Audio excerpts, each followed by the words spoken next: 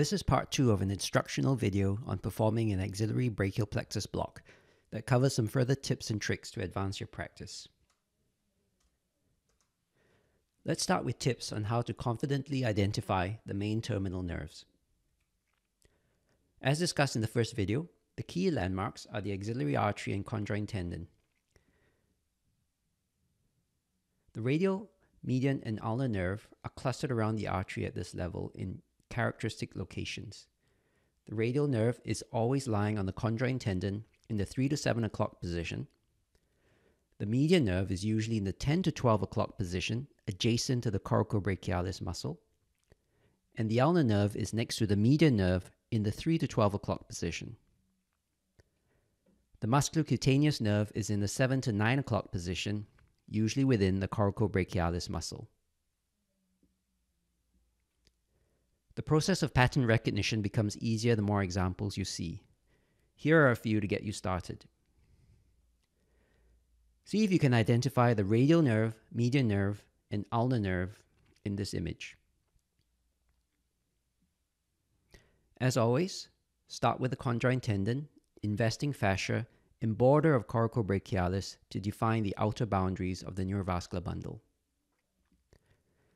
The radial nerve is almost the same size as the artery, often, if not always, hyperechoic and lying on the conjoint tendon.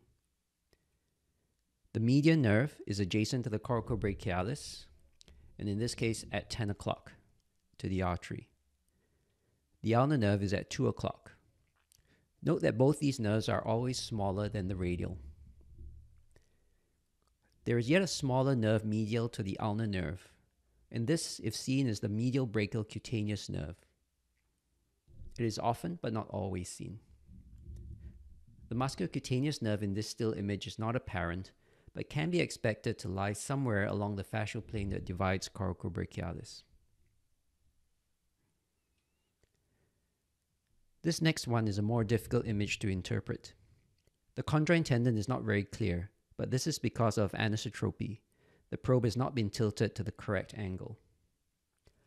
However, its position is still obvious from the dark underlying muscle. The artery and veins are visible. The radial nerve is not very clear, but as always, we know that it has to be the vague hyperechoic structure lying on the conjoint tendon. It will become more visible once local anesthetic is injected in this compartment. The median nerve is adjacent to coracobrachialis and the ulnar nerve next to it. The musculocutaneous nerve is in the fascial plane in the coracobrachialis muscle.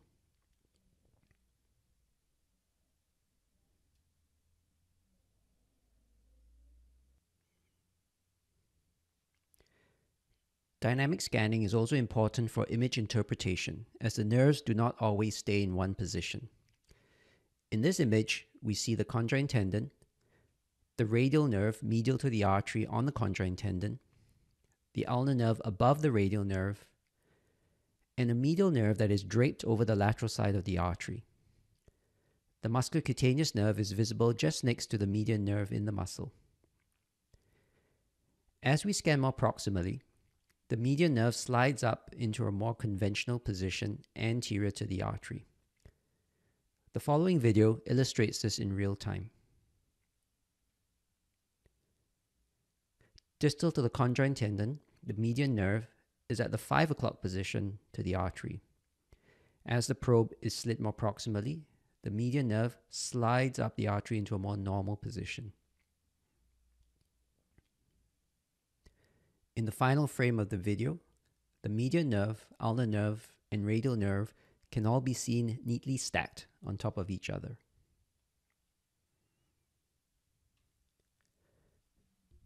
The identity and location of each nerve can also be confirmed by scanning proximally and distally. Each nerve will follow a characteristic course further down the arm. As the probe is slid distally to the midhumeral area, the median nerve stays adjacent to the axillary artery, but the ulnar nerve pulls away to lie more medially and in a superficial location under the investing fascia.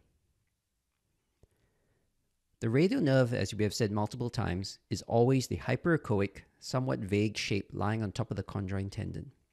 If confirmation is needed, however, sliding the probe distally to the midhumeral area will show the radial nerve dropping posteriorly in a fascial plane between heads of the triceps towards the spiral groove on the posterior surface of the humerus. The radial nerve exhibits a characteristic rising and sinking motion as the probe is slid back and forth.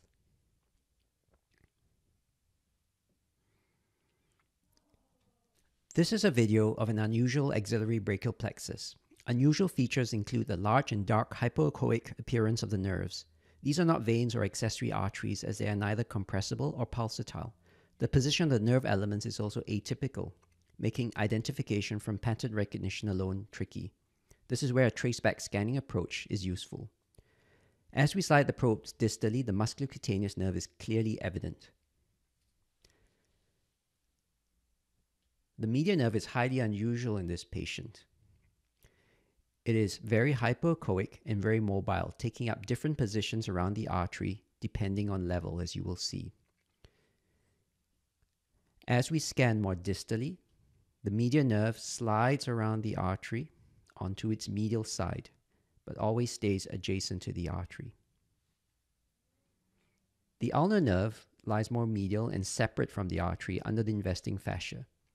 The radial nerve is also visible here, sliding towards the posterior humerus between the heads of triceps. The radial nerve can be followed proximally to confirm its location on the conjoint tendon. Now, the identity and location of all the four main nerves can be confirmed.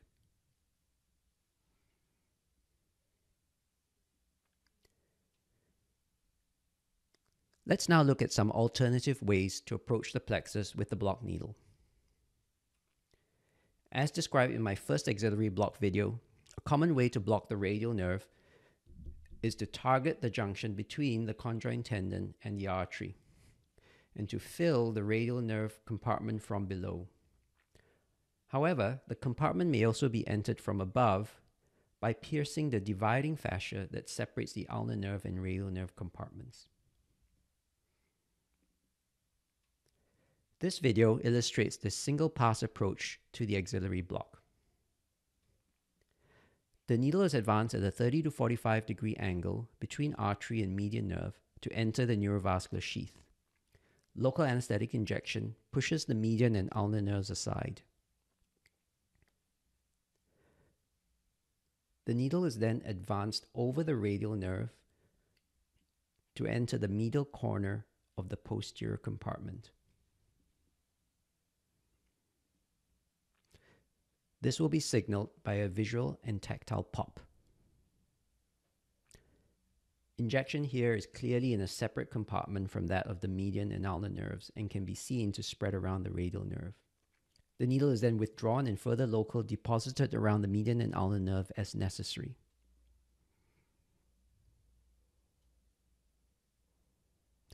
As usual, the musculocutaneous nerve must be injected separately.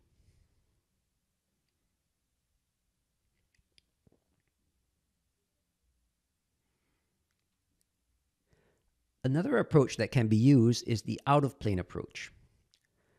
The main advantages are that it can always be achieved with a single skin puncture site, and that regardless of which side you are blocking, you can always use the same hand for needling or probe handling. It also does not involve passing through the coracobrachialis, shortening the needle path and reducing procedural pain.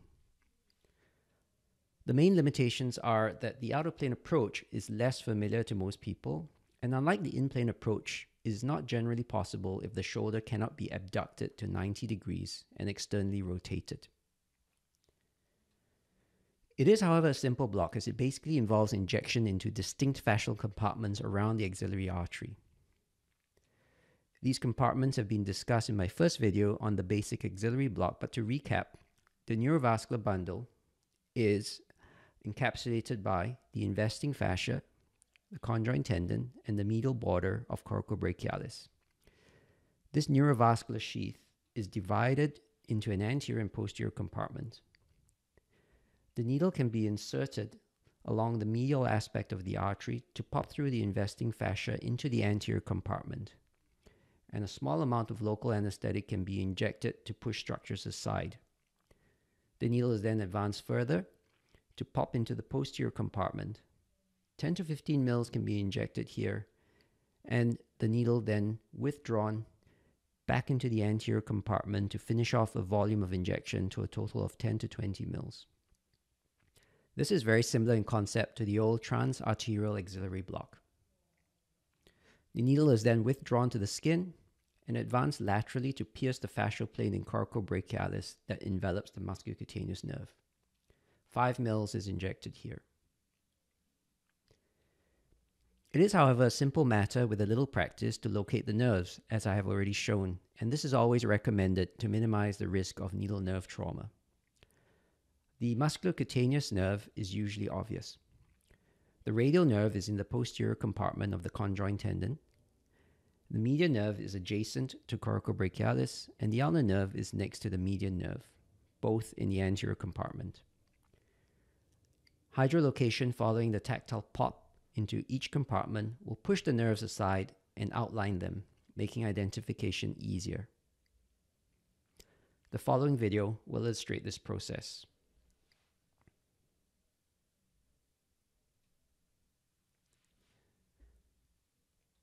The probe is applied with relatively light pressure, allowing identification of the axillary veins, which should also be avoided where possible.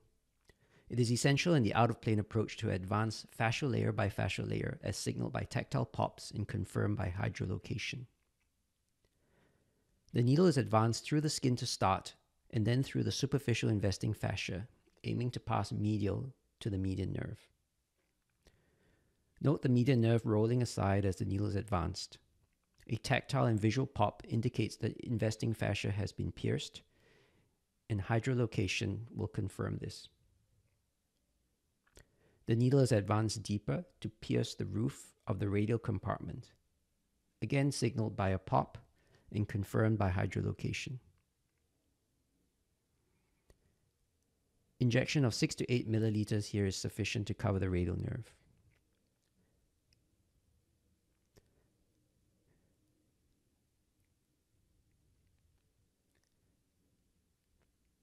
The needle is then withdrawn back into the anterior compartment.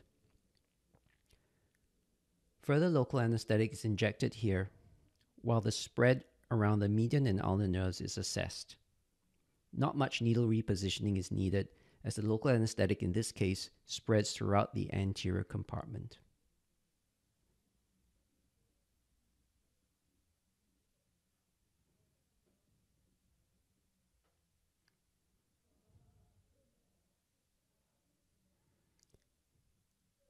The needle is then withdrawn to the skin and advanced laterally through coracobrachialis to the musculocutaneous nerve. The needle tip is evident by its motion. Tenting of the fascia and the pop through is also obvious. Local anesthetic surrounds and pushes the nerve aside.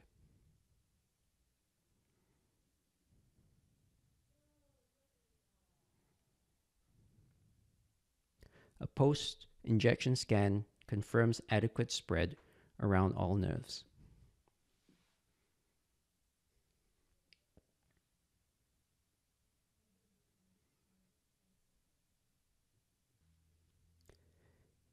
Here is another example to reinforce the concept.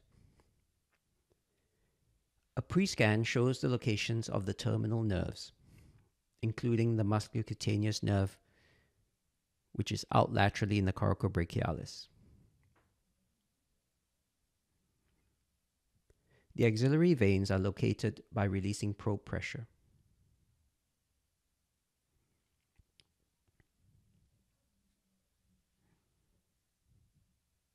The needle is inserted at a steep angle to keep the tip as close to the ultrasound beam as much as possible. The needle in this case is directed medial to the ulnar nerve to pop through the investing fascia. Local anesthetic is injected. The needle is then carefully advanced past the ulnar nerve with hydrodissection until it pierces through the roof of the posterior compartment. Entry is confirmed by a pop and local anesthetic that spreads posterior to the artery and around the radial nerve. This is seen here.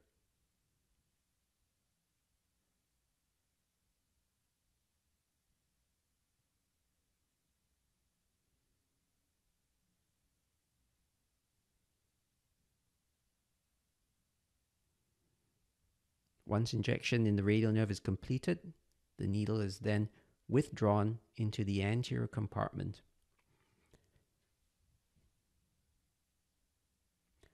Further injection is performed.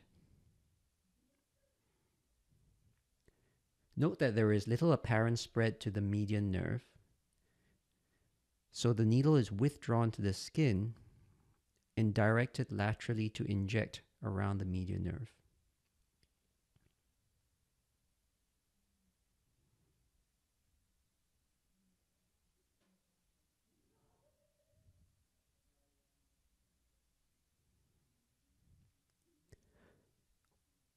Note that a good view of the needle tip can be obtained with this tangential needle trajectory towards the lateral aspect.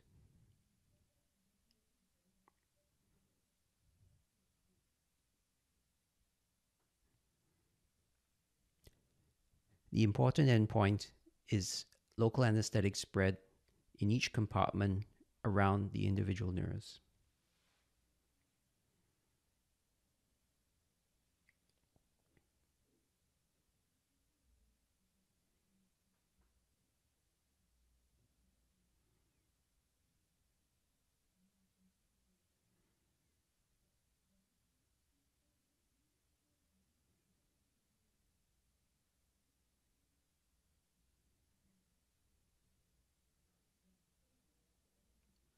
Finally, the musculocutaneous nerve is covered by piercing the sheath, withdrawing slightly as needed, and performing injection that spreads within the fascial envelope around the nerve.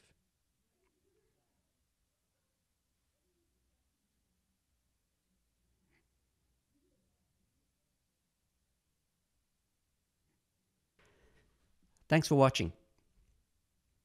Don't forget to check out the first video in this series on the basics of the axillary brachial plexus block, as well as other videos on the infraclavicular brachial plexus block and the superior trunk block.